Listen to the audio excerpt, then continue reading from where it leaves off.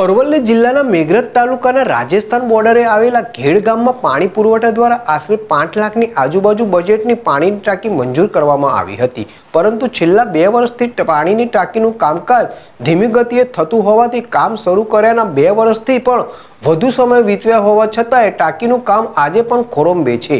જ્યારે ઘેડ ગામમાં પાણીની એકમાત્ર ટાંકી છે, જે હાલ જર્જરિત હાલતમાં છે અને મોટી દુર્ઘટના સર્જાય તેવી સ્થિતિમાં હોવાથી નવીન ટાંકીનું કામકાજ ઝડપથી પૂર્ણ કરવા ગામ લોકોની માંગ છે. સરકાર દ્વારા પાણીની સમસ્યા નિવારવા વિવિધ યોજના થકી પાણીનો સંગ્રહ થાય તે માટે લાખો રૂપિયા ખર્ચીને પાણીની ટાંકી બનાવવા મંજૂરી આપતા હોય છે. પણ અહીં વાત ક્યાંક અલગ જ છે.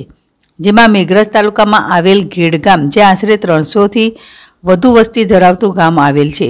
ત્યાં પંચાયત દ્વારા રજૂઆત કરતા પાણીના સ્ત્રોત અને સંગ્રહ માટે પાણી પુરવઠા દ્વારા નવીન ટાંકી મંજૂર કરવામાં આવી હતી, જેમાં આ પાણીની ટાંકીનું કામકાજ ગામ લોકોના જણાવ્યા મુજબ કોન્ટ્રાક્ટર દ્વારા છેલ્લા બે વર્ષથી નવીન ટાંકી બની રહી છે, પરંતુ આ ટાંકી આજ દિન સુધી બની નથી.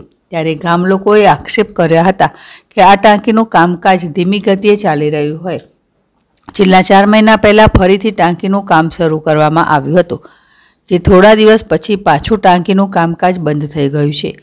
ગ્રામજનોએ જણાવ્યું હતું કે સરપંચ દ્વારા અધિકારી અને કોન્ટ્રાક્ટરને ઘણીવાર મૌખિક રજૂઆતો કરવામાં આવી છે.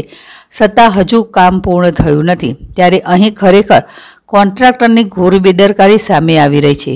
ગીડ ગામમાં પાણીનો સ્ત્રોત તો આવેલો છે, પણ પાણીના સંગ્રહ માટે માત્ર ગામમાં હાલ એક જ ટાંકી છે, જે છેલ્લા ત્રીસ વર્ષથી વધુ સમયની બનાવેલી ટાંકી છે, જે હાલ જર્જરિત છે.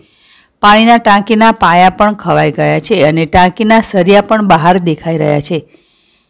કે જાણો, આ ટાંકી થોડાક જ ક્ષણોમાં જમીનદોસ્ત થાય તેવી તસવીર સામે આવી છે. અને આ જર્જરિત ટાંકી ગામના રસ્તા પાસે અને ડેરી તેમજ સબસેન્ટર અને શાળાના નજીક આવેલી છે, જેના કારણે રસ્તા પર જતા બાળકો તેમજ ગામના લોકોને હાલ આ જર્જરિત ટાંકીથી ભય છે કે જો ટાંકી પડશે તો મોટી આફત બની રહેશે. વધુમાં ગામમાં ટાંકી માત્ર એક જ છે અને આ ટાંકી જર્જરિત હોવાથી ટાંકીની સફાઈ માટે ટાંકી ઉપર ચઢી શકાતું નથી. જો કોઈ ચઢે તો મોટી દુર્ઘટના સર્જાય તેવી સ્થિતિ ટાંકીની છે. જેના કારણે ટાંકીની સફાઈ થઈ શકતી નથી અને ગામના લોકોને ગંદુ પાણી પીવા મજબૂર બનવાનો વારો આવ્યો છે અને જો આ પાણી પીવામાં આવશે, તો આગામી સમયમાં રોગચાળો ફાટી નીકળશે તેવું લાગી રહ્યું છે. તેમ ગ્રામજનોએ જણાવ્યું હતું. આમ આ ગેડગામમાં આવેલી ટાંકીનું કામ ધીમી ગતિએ ચાલી રહ્યું છે. આ બાબતે તંત્રમાં ઘણીવાર રજૂઆત કરવામાં આવી છે છતાં ચોક્કસ કારણ જાણી શકાયું નથી.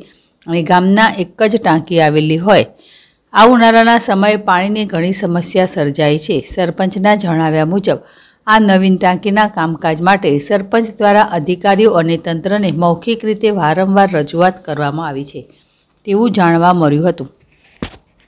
ત્યારે હાલ નવીન ટાંકીનું કામકાજ ઝડપથી પૂર્ણ થાય અને ગામના લોકોને શુદ્ધ પાણી મળી રહે તે માટે હાલ ગેડ ગામના લોકોની માંગ સેવાઈ રહી છે.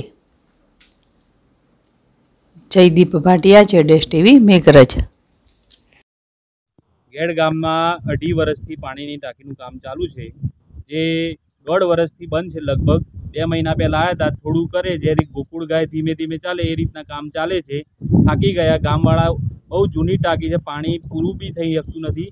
ટાંકી પડવાના આરે છે, તો બી કામ પૂરું થયું નથી. અને તંત્ર શું કરે છે ખબર નહીં પડતી. વારંવાર અપીલ કરવા છતાં અમારી ગેડ ગામનું ટાંકીનું પાણીનું કામ પૂરું થયું નથી તંત્રને એટલી જ અપીલ છે કે અમારી ટાંકી ઝડપથી ઝડપ બનાવો અને બધા લોકોને પાણી